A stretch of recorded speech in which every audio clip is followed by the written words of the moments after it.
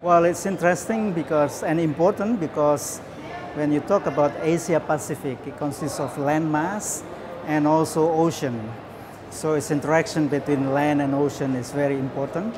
And all these issues are related to uh, land use and also the ocean use. And uh, people rely a lot on the resources available in the land, including forests and also in the ocean. So Asia Pacific uh, uh, community should be uh, taking care of forests and ocean at the same time.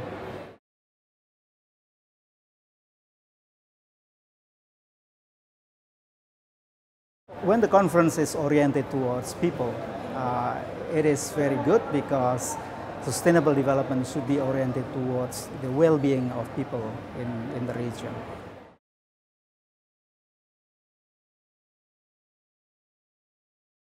Well, the population pressure is, is one of the important things to, to, to tackle because uh, you have a huge uh, population growth and the pressure on land and also ocean is very high.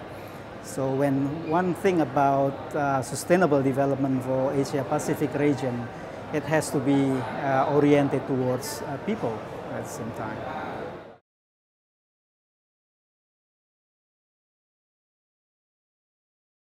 Uh, peatlands are very uh, small in terms of size, uh, but uh, most of the peat in Asia Pacific region are here in Indonesia, and it's very important because uh, it is a very uh, huge storage of carbon.